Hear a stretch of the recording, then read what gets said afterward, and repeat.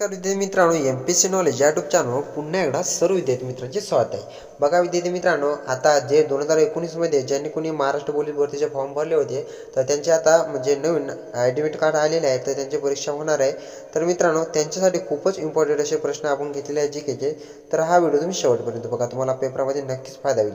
चला मित्रांनो वेळ बघा आता आपला टॉपिक उद्या प्रश्न क्रमांकाचा पहिला बघू. बघा पोलीस भरतीबाबत आहे आपलं सामान्य ज्ञान. पोलीस भरतीला सामान्य ज्ञान हे पंचवीस गुणाचं विचारत होतं मित्रांनो. तर बघू त्यांच्याबद्दल आपण थोडक्यात माहिती बघू. बघा प्रश्न क्रमांक पहिला. हॅलिसिक्स ऑलिम्पिक्समध्ये भारतात वैयक्तिक खेळात पहिले पदक मिळवून देणारा खेळाडू कोणता? तो कोणता होता? तो खशाबा जाधव. हा खेळाडू होता. तो कोणता? हॉलसिक ऑलिम्पिक्समध्ये भारतात वैयक्तिक खेळात पहिले पदक मिळवून देणारा कोणता? खशाबा जाधव. प्रश्न लक्षात असू द्या. नेक्स्ट बघा दुसरा प्रश्न. बघा चहामध्ये चहामध्ये कोणते उत्तेजन द्रव असते? तर बघा टनिन हे उत्तेजन द्रव असते मित्रांनो.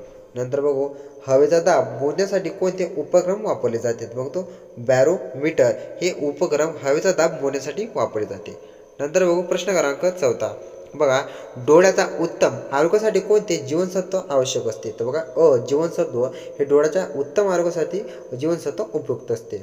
नंतर बघू पाचवा प्रश्न. बघा लोकसंख्येचा विचार करतात भारतातील सर्वात मोठे राज्य कोणते बघा उत्तर प्रदेश. नंतर सहावा प्रश्न भारताचा राष्ट्रीय खेळ कोणता बघा हॉकी. हा भारताचा राष्ट्रीय खेळ आहे. तो कोणता? हॉकी. नंतर सातवा प्रश्न राष्ट्रीय ग्रामीण रोजगार हमी योजनेअंतर्गत ग्रामीण कुटुंबांना वर्षातील किमान किती दिवस रोजगार उपलब्ध करून देण्याची तरतूद केलेली आहे. तर बघा शंभर दिवस. हे ग्रामीण राष्ट्रीय ग्रामीण रोजगार हमी योजनेत शंभर दिवस शंभर दिवस त्यांना काम देण्याची तरतूद केलेली आहे. तर कोणी राष्ट्रीय ग्रामीण रोजगार हमी योजनेअंतर्गत? नंतर आठवा प्रश्न बघू. बघा पाण्याचे रेणूसूत्र कोणते आहेत? बघा S two O. S two O हे पाण्याचे रेणूसूत्र आपल्या सर्वांनाच माहीत आहे. नंतर बघू प्रश्न क्रमांक समोरचा. म्हणजेच नववा. बघा पंढरपुरी. ही जात कोणत्या प्राण्याची जात आहे? तर बघा म्हैस ही पंढरपुरी एका प्राण्याची जात आहे तर कोणती? पंढरपुरी. नंतर दहावा प्रश्न बघू. जास्त अंडी देणारी कोंबड्यांची जात कोणती? बघा व्हाईट लेंग हॉर्न ही जास्त अंडी देणारी कोंबड्यांची जात ठरलेली आहे. नंतर अकरा प्रश्न बघू. पृथ्वीवर दिवस वरात कशामुळे निर्माण होतात? तर बघा पृथ्वीच्या परिवर्तनामुळे पृथ्वीवर दिवस वरात निर्माण होतात. कशा अशा? पृथ्वीच्या परिवर्तनामुळे नंतर बारा प्रश्न बघू. किमान आधारभूत किंमत एम एस पी किती असावी याबाबत केंद्र शासनाला सल्ला देण्याची संस्था कोणती? तर बघा कृषी खर्च व मूल्य आयोग ही संस्था शासनाला एम एस पी मार्फत किती सल्ला देण्याची व त्याबाबत सल्ला देण्याची ही कोण करते? तर बघा कृषी खर्च व मूल्य आयोग हे करतात. नंतर तेरा प्रश्न बघू. विद्युत बल्बमध्ये कोणत्या धातूची तार फिलामेंट म्हणून वापरली जाते? तर बघा स्टंगस्ट ही विद्युत बल्बमध्ये धातूची तार म्हणून वापरली जाते. कोणती? फिलामेंट म्हणून वापरली जाते. कोणती? स्टंगस्टन नंतर समोरचा प्रश्न बघू. चौदावा बघा महाराष्ट्रातील किती जिल्ह्यांना समुद्रकिनारा लाभलेला आहे? तर बघा हे सात जिल्ह्यांना समुद्रकिनारा लाभलेला आहे. नंतर बघू पंधरा प्रश्न. बघा महाराष्ट्रातील हरित क्रांतीची सुरुवात कोणी केली? तर बघा वसंतराव नाईक यांनी हरित क्रांतीची सुरुवात केलेली आहे. आता बघू समोरचा प्रश्न सोडावा बघा निसर्गातील सर्वात कठीण वस्तू कोणती आहे? तर बघा हिरा. ही निसर्गातील सर्वात कठीण वस्तू आहे. नंतर सतरा प्रश्न बघा.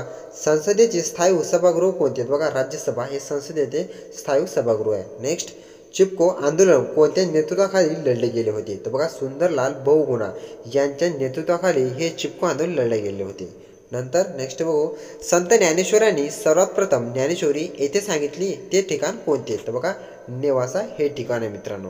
नंतर दुसरा प्रश्न बघू. बघा प्राचीन भारतातील नालंदा हे विद्यापीठ हे भारतातील सध्याच्या कोणत्या राज्यात आहे? तर कोणते बिहार या राज्यात स्थित आहे मित्रांनो? कोणते प्राचीन भारतातील नालंदा विद्यापीठ? हे कुठे आहे मित्रांनो? बिहार येथे आहे. प्रश्न लक्षात असू द्या तुम्हाला विचारला जाऊ शकतो. नंतर बघा पश्चिम किनाऱ्यावरील प्रमुख बंदरापैकी एक असलेले ओखा हे बंदर कोणत्या राज्यात आहे? तर बघा गुजरात या राज्यात आहे. तर कोणतं मित्रांनो? गुजरात.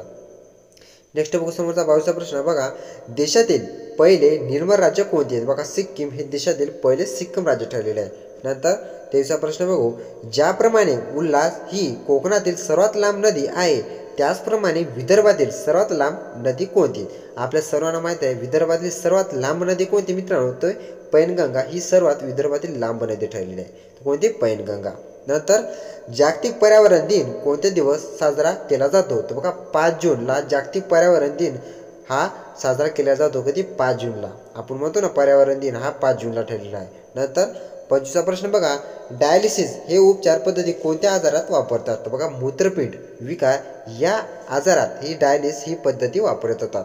आणि मित्रांनो हा व्हिडिओ तुम्हाला कसा वाटला? प्लीज लाईक करा शेअर करा आणि कमेंट करायला विसरू नका.